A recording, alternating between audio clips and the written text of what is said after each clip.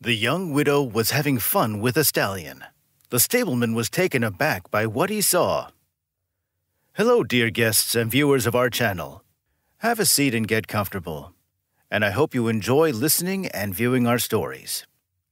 Kate's husband was a breeder of thoroughbred horses. He had his own stables in the countryside. Kate jokingly said that she couldn't say for sure if it was just Joe she married. Perhaps it was the horses that played a role in her decision. Kate had a soft spot for horses since childhood. She had a variety of horse toys and collected calendars and all kinds of pictures of horses. Kate lived in an ordinary family in a small city flat. Her parents couldn't even afford simple singing or drawing lessons because they didn't have much money. There could be no question of equestrian school. Of course not. You wouldn't want to. Do you think they just go horseback riding? No, the horse would have to be groomed and cleaned, she said, as if she were an equestrian expert. Kate didn't argue because she knew it was no use arguing with her parents. When she asked to go to the pool, she was told that she would have to get up at 6 a.m., even on weekends, and that she definitely couldn't do it. Although the only huge sleepers in the family were her parents. Kate liked to draw too, so she asked to go to art school. There was no charge. But someone had to drive Kate to class, and her parents were working late. Strangely enough, for some reason, she could go to school five stops by bus, but a little further downtown, with a transfer to the underground, she couldn't. So the denial of admission to equestrian school didn't surprise Kate in the slightest. All that was left to do was dream and envy the girls who got in.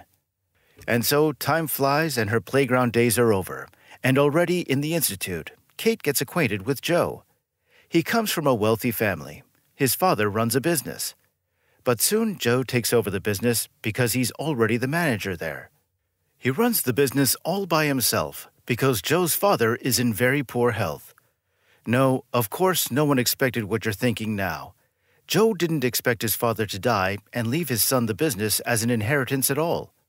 The father simply had to transfer all the assets to his son within days so that he could retire and live out his old age in peace. When Kate found out what kind of business Joe's family had, she was overjoyed. Fate itself had brought them together. All day, Kate was stuck at the stables. Even Joe was talking. I don't get it. Are you coming to see me or the horses? Is it just me, or do you like Morning Dawn more than me? Joe asked. Morning Dawn is my favorite stallion, Kate replied, smiling. Better watch yourself. I'm jealous, Joe joked. So it's not me you'll be jealous of, but the stallion to me? Geez. Kate was joking too. Yes, Joe's most beloved prospective stallion's name was Morning Dawn. Horse breeders have that. Kate had never been able to get into all the rules by which they named their horses. At least, everything was more or less clear with the word morning. It was the name of the stables run by Joe, so all his horses carried the prefix morning to their names. Perhaps Kate's favorite horse was simply born early in the morning, and therefore given the name Dawn. Almost immediately after the wedding, Joe's father signed over all the required documents to his son.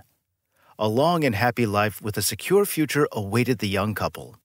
Kate was already anticipating how she would teach her future children writing. Joe really wanted a son, and Kate wanted a son and a daughter and possibly another son. All was fine and well until Joe died. Well, who would have thought that the young up and coming businessman would be out of this world so soon, and that he would pass away before his old, sick, and decrepit father? Joe's dad cried at his son's funeral and lamented that he would have no grandchildren now. His life had been wasted. The old man had a very touching and trusting relationship with Kate. She literally became a daughter to him. She didn't claim her share of her husband's inheritance, but everything passed on to Kate. The old man knew that she wouldn't kick him out. Kate wouldn't dare. She loved Joe's father even more than she did her own parents, who, in fact, never cared about her. Kate could barely cope with her grief. She couldn't even look in the direction of other men. As it should be, she was in mourning for a year. But after that, the situation didn't change at all. Kate rejected advances and proposals of any kind. Darling, As much as I hate to say it, I do wish you would remarry. I'm old, I'm sick, I want to see my grandchildren. You're like family to me. Even if it's not Joe's, it doesn't really matter. A lot of it was his own fault. How many times have I told him not to ride that motorcycle? Kate was told by her father in law. Thank you for your kindness, but I can't yet so quickly. All my memories are of him, Kate replied. Joe crashed on his motorcycle. There was an accident, and he died on the way to the hospital. Kate didn't get to say goodbye to him. She didn't know anything at all. She'd been told from the hospital when he died. But strange rumors were circulating in the stables that the young widow had found an interesting comfort that Kate had been frequenting the stables. There was talk that she didn't go to the stableman at all, even though the stableman was rather young and handsome. He even looked a bit like Joe, only a couple of years older. Daniel had been working in the stables since he was a boy. He lived in the village nearby and had been coming to the stables from an early age. He was very fond of horses, at first in play and then in reality. So Daniel stuck to the job and stayed. No one else could handle a horse as skillfully as he did. Back when Joe's father had been master, he had always welcomed the young worker, and if anyone, a bored young widow, could run into, it would be him. But no, the word was that she had found some fun with her favorite stallion. Thank God those rumors hadn't reached Joe's old father. Otherwise, he would probably have thrown the merry widow out of the house and disinherited her. The unfortunate old man was already feeling so unwell that he wouldn't even leave the house. But the stableman Daniel had heard these rumors in great detail, and he couldn't understand why the young and beautiful woman was so desperate as to run to a stallion. Daniel had known Kate since she had appeared in the stables, and couldn't admit even to himself that he liked his master's wife. Yes, Daniel was in love with Kate. He wasn't happy about Joe's death, but he decided that he had a real chance to open his heart to the woman he loved.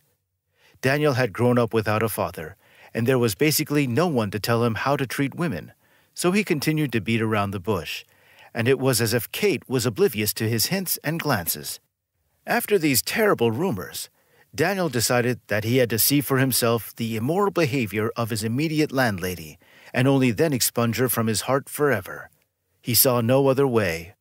Once again, when Kate appeared at the stables, looking around to make sure no one saw her, she slipped into the stalls for morning dawn.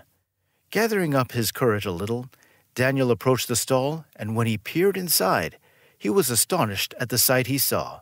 His love was lying on the straw, with the stallion curled up next to her and its head on her lap, and in front of them was a photo of Joe. The two of them looked at it and cried. As it turned out, Joe's favorite horse had also missed his master madly. So, without doing anything wrong, the widow would go to her husband's four legged friend, and together they would mourn him. People, on the other hand, did nothing but spread silly rumors. Daniel suddenly felt very ashamed of himself for believing people's rumors and silly talk. Out of the excess of emotions, he unknowingly stepped into the stall and confessed his love to Kate. Six months later, they were married. When Daniel's mother came to the wedding, it turned out she was having an affair with the old owner, Joe's father. When she found out about the pregnancy, it was too late. The man had already married someone else. Thus, it turned out that Daniel was Joe's illegitimate brother. The family was reunited, and the old owner essentially saw his own grandchildren. This inspired the old man so much that it gave him a little more strength, so he personally accompanied his eldest grandson to first grade. Such a wonderful, tangled love story happened in our region. Thank you for listening to it till the end. And don't forget to subscribe to this channel and like this video. And also click on that bell icon to not miss any future videos. Until next time, all the best.